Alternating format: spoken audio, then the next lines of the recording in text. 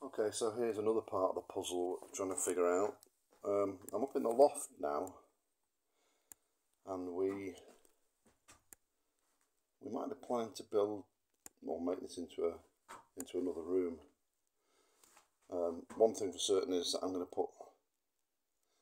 put floorboards in there and build a little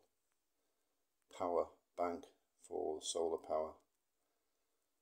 because uh, it's it's situated in a good part of the house actually, so we can get electricity throughout the house. Um, the other strange thing here is that if you look at the length of the attic,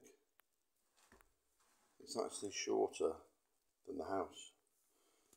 and this wall was either an original wall and they built on the other side of this because on the other side of this there is still uh, two bedrooms and a hallway. So I'm feeling a bit like Colditz here but I'm starting to try and break through some of this concrete just in a small space so I can actually see what's on the other side because on the other side downstairs there is no loft access like there is here so none of the ceilings have got any sort of access into this roof space. So I'm just going to try and chip through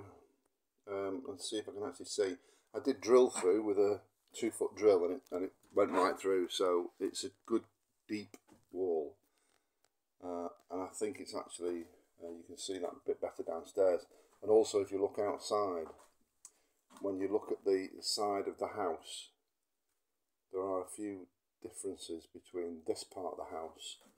and the other side of that wall. The windows are slightly different,